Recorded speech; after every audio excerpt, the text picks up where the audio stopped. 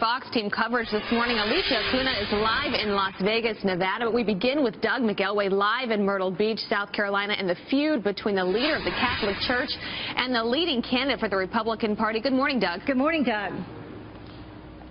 Morning, Abby. Morning, Heather. This latest Trump controversy is raising a lot of speculation about what kind of effect it may have on the South Carolina primary, less than 24 hours away now. Keep in mind that only about 10% of South Carolinians are Catholic. And there are some who speculate this controversy may actually help Trump because it actually refocuses attention on what is arguably one of the most important issues or the most important issue of his entire campaign season. That is building the wall along the Mexican border.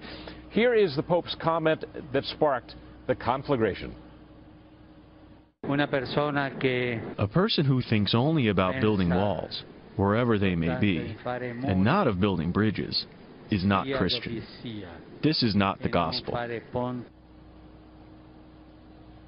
Now watch as you see Donald Trump's initial reaction to this. He did something very uncharacteristic. He read from a written script, perhaps suggesting that this is something he had to wade through very, very carefully.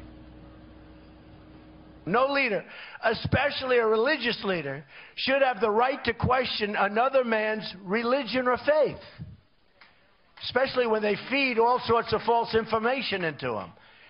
They're using the Pope as a pawn and they should be ashamed of themselves. That's the Mexican government.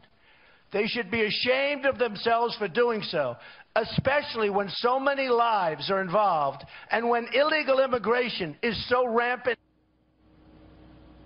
For Trump's rivals, all struggling to gain some traction against his uh, big poll numbers, this ranged from something that was just another distraction from them that diverted from their messaging to something that they too had to wade through very, very carefully. That's between Donald the Pope. I'm not going to get in the middle of that. I understand the Pope's, he's a spiritual leader. He's the leader of the flock in terms of bringing people to the Lord. Uh, but on this issue, I would just say that while America you know, certainly has been a country welcoming to immigrants, uh, it also has to be a country that secures its borders. No polls have been taken since this erupted yesterday. The latest Fox News poll, which was completed on Wednesday, still has Trump in a commanding lead at 32%, with Cruz at 19, Rubio 15%, and Jeb Bush in single digits at 9%. It will be interesting to see if Trump raises this issue again or brings up the subject matter that erupted yesterday here when he speaks at noon today at the Myrtle Beach Sports Center. We'll be here watching it. Back to you. Heather, Abby? Thank you, Doug. You want to place a bet on that? Yeah, right? Yeah, I think you probably will.